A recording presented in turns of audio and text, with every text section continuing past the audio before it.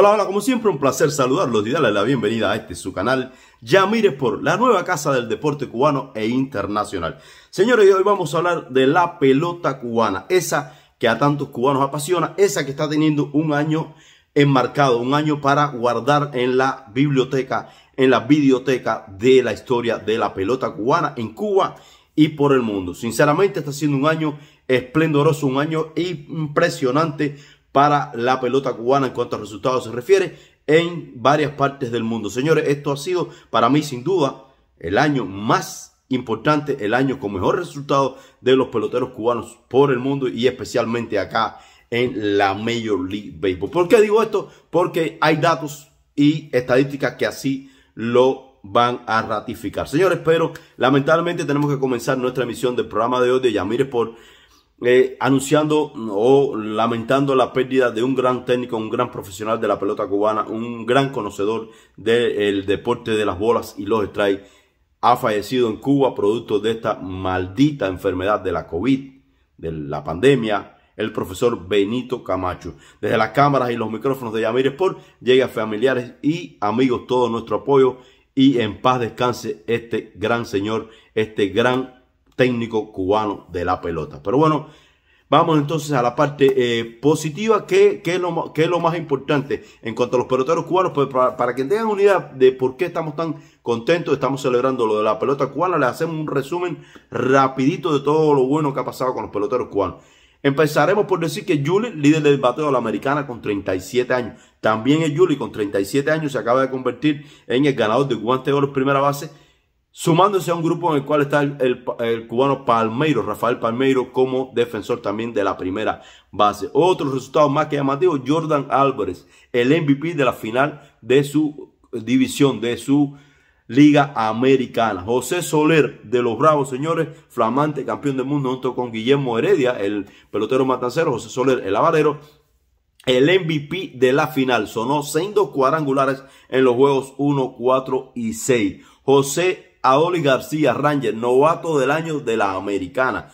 Chapman y Iglesias, cerradores con más de 30 juegos salvados. Jorge Soler, Jorge Soler y Randy Arozarena, premio momento legendario.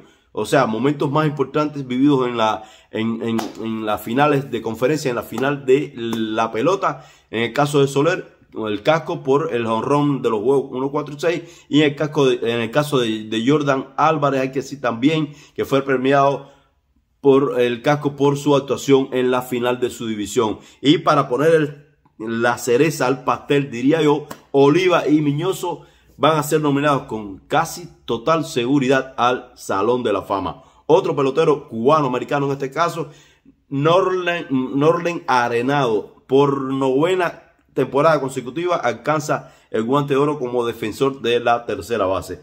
Estos son los elementos más importantes de los cuales hablaba anteriormente. Por eso es un año de fiesta de la pelota cubana, pero no es todo. Seguiremos ahora con las demás ligas, las demás mm, presencias cubanas por todas partes del mundo y verán por qué. Hay peloteros cubanos en Asia, en Dominicana, en México, en Venezuela, en Nicaragua, en Puerto Rico, en todos lados, en Colombia también habrá presencia cubana. Hay un pelotero cubano que estará La serie nacional agentes de peloteros y el clásico mundial. Son los demás temas que vamos a tratar hoy. En cuanto a las ligas menores, lo más llamativo, Andy Rodríguez dio una demostración de picheo tres cines con allí con el Miami College, un equipo con el cual estaba jugando para poder irse desarrollando y dio siete eh, chocolates, repartió siete chocolates en tres cines y llegó a alcanzar las 93 millas. Un lanzador que mm, tiene más velocidad, pero bueno, poco a poco irá eh, Junior Díaz, ese jardinero ex industrial, pelotero cubano de mucho talento, dice que constancia y trabajo lo harán llegar al primer nivel. También hay que decir, en cuanto a las ligas menores, que Cristian Vaquero acaba de ser declarado agente libre y tiene muchos equipos detrás de él, pero los principales o el más interesados son los nacionales de Washington. César Prieto, ese flamante camarero cienfueguero, también acaba de ser declarado agente libre, algo también muy positivo. En cuanto al béisbol, en otras partes del mundo, Henry Rutia con las Águilas Medicales está bateando para 2.68 y conectó su primer jonrón. Elian Leiva, el lanzador de Mayabeque, tiene 0.24, está imbatiable allí en México. Carlos Juan Viera, el lanzador de las Tunas, alcanzó su tercera victoria. En Dominicana, Junior Estimaga Johnny Esquimaya ha arrancado a todo tren, lleva 10 entradas sin permitir carrera en el béisbol dominicano, que para muchos es la liga más importante de todas las ligas del Caribe. En cuanto a Nicaragua, Rudy Silva de 4-3, ese veterano eh, jardinero habanero de, de Winner específicamente, está bateando para 500. Volviendo a México, con Navajoa, el pinareño Michael Serrano tiene ya 25 carreras empujadas. En cuanto allí a México también con, con Jalisco, del, el, jardinero pinero eh, Félix Pérez de 3-2 batea para 2.86. En Venezuela, Jordana Linares con Lara está batiendo 326. Y en Dominicana, Raúl Valdés a sus 44 años tuvo otra salida de calidad. Un veterano que sigue desprendiendo béisbol por todos lados. En cuanto a Asia, lo más destacado, bueno, allá en Corea, con el Dosan, José Miguel Fernández, batió de 4-3, señores. Le faltó solo el honrón para la escalera. O sea, hit, doble, triple y le faltó solo el honrón. Ayudó en demasía a la victoria de su equipo y eh, se enfrentarán en la próxima eh, serie.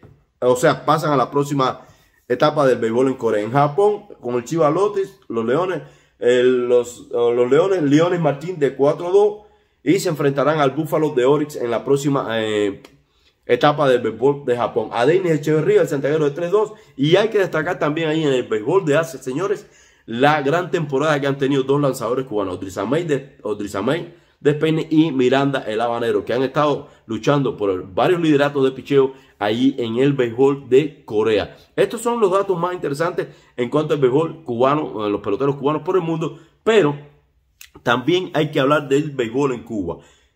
Béisbol en Cuba que acaba de sufrir otra gran pérdida, no estará para esta próxima temporada, acaba de pedir su separación definitiva del béisbol eh, cubano Lisbán Correa, el flamante toletero de los industriales, primera base, quien estuvo en la eliminatoria para, eh, los Olímpicos de Tokio acá en la Florida y dio un jonrón descomunal en aquel momento, pues acaba de pedir su liberación de la Federación Cubana de Béisbol y es una, sin duda una sensible, más que sensible baja para el equipo de industriales.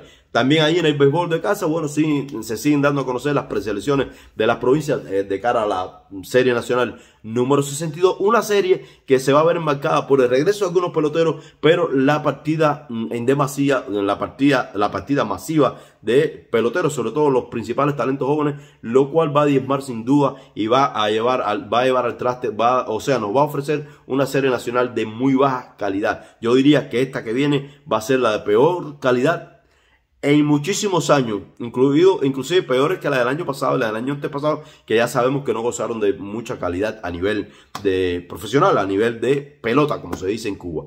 Así que esperemos, vamos a ver qué pasa. Más adelante los mantendremos informados acerca de todo lo que está pasando con la pelota cubana, los peloteros cubanos en Cuba y por el mundo. Como siempre les digo, muchas gracias por su apoyo, muchas gracias por su compañía. Dios los bendiga y nos vemos en el estadio.